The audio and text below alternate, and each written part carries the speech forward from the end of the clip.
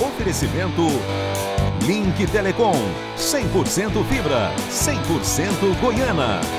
Feste, vestindo mulheres com estilo e elegância. Grupo Biriba, o shopping do caminhoneiro. Boa tarde para você que faz parte de toda essa galera ligada aqui na TV Sucesso Band, ligada aqui no nosso Jogo Aberto Goiás.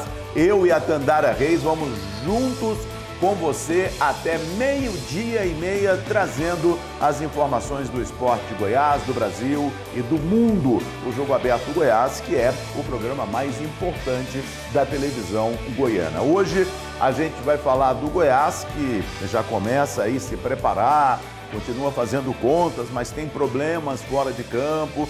Tem um conselho deliberativo aí que está com fome agora por mudanças, tem punições. O Goiás que joga segunda-feira contra o Santos na Serrinha. A gente fala do Vila Nova que joga sábado contra o Mirassol. O torcedor está mais desconfiado do que nunca. O Atlético joga antes, joga fora de casa quinta-feira contra o Criciúma e a gente tem uma denúncia, o descaso do poder público com uma das praças esportivas mais importantes do nosso estado. Já já a gente conta isso para você, a gente fala de Liga Europa, a gente fala de Copa do Brasil. Ufa, tem muito assunto por aqui. Tandara, e o torcedor do Vila Nova, hein? O Vila Nova joga no sábado, jogo importante, joga fora de casa contra o Mirassol. Agora não tem mais essa história de casa, fora, tem de ganhar. Bota fé, Tandara? Boa tarde, Boa tarde. Theo. Boa tarde para todo mundo que nos acompanha aqui no Jogo Aberto Goiás. Acho que a situação do Vila ainda está muito difícil, mas matematicamente é possível. Acredito que ele ainda vai dar aí um respiro até o final da Série B e chegar brigando até as últimas rodadas. Se vai conquistar ou não esse acesso já é outra história. Só lembrando que o Novo Horizontino ontem venceu a Ponte Preta, assumiu a liderança da Série B e se afastou cada vez mais. Eu coloco aí Novo Horizontino, Santos e o Mirassol. Ah, mas o Mirassol está um pouquinho abaixo, mas eu coloco o Mirassol como três classificados. Aí é a briga pela última vaga. É, e o Novo Horizontino ganhou com dois gols do Neto Pessoa, ex-Vila Nova. Falando no time colorado, que entra em campo somente no sábado, diante justamente do Mirassol, jogo fora de casa, depois daquele empate amargo com o Botafogo de Ribeirão Preto, o presidente Hugo Jorge Bravo concedeu entrevista coletiva e garantiu que o bicho do Vila Nova vai ser o maior da Série B. Quem vai te contar os detalhes é o Matheus Medeiros.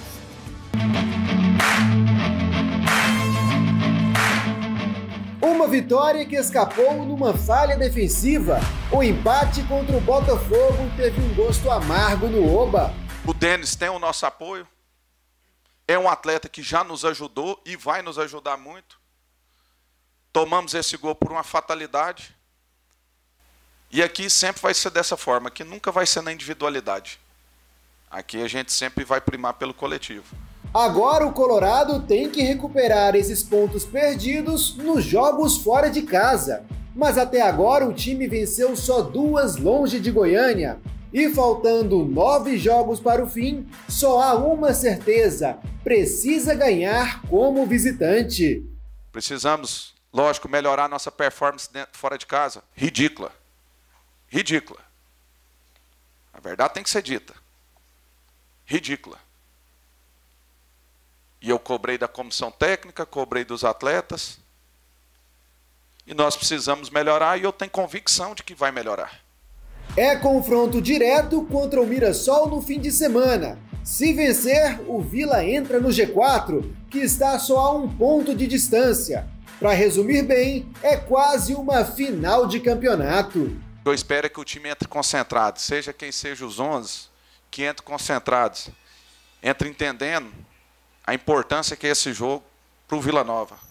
As comparações com a campanha de 2023 acabam sendo inevitáveis. O Vila Nova teme mais uma oscilação nessa Série B e os torcedores já começam a ver as chances de acesso escorrendo pelos dedos mais uma vez. E para quem acha que a situação é falta de investimento financeiro, o presidente do clube garante que o que não falta é dinheiro para vencer nessa reta final. Um acesso para eles aqui não é só ficar marcado na história do clube eles vão ter um bom bicho.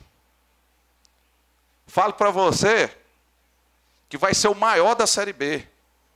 Porque se eu ficar sabendo só por alto que tem um clube que vai pagar mais do que a gente, eu vou pôr 50 mil a mais por cabeça.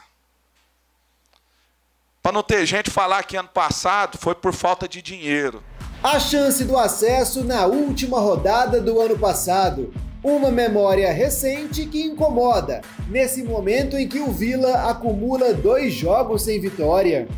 As coisas vão acontecer. Nós estamos trabalhando para isso. Trabalhamos muito. Aqui, às vezes, as pessoas acham que, que não tem um ambiente de cobrança, mas aqui a cobrança é forte.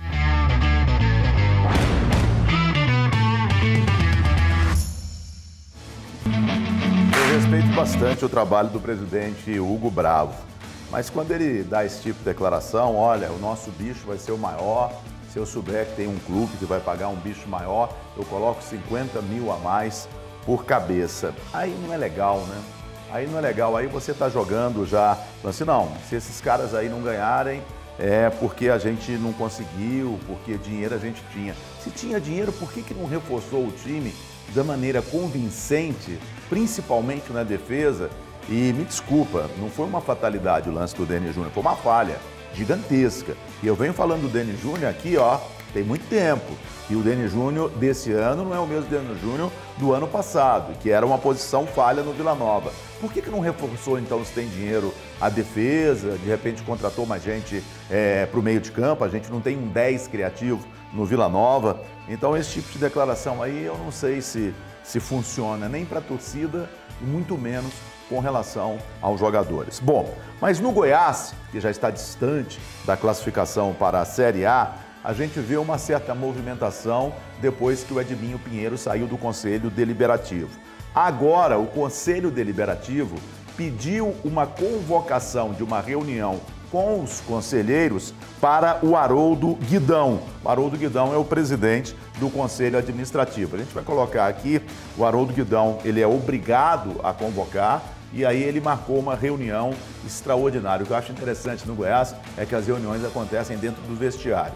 Essa reunião vai acontecer no dia 1 de novembro. Por que, que é essa reunião? Essa reunião aqui já é uma coisa mais séria, porque o Haroldo Guidão, que é o presidente do Conselho Administrativo, ele teria relações comerciais com o clube.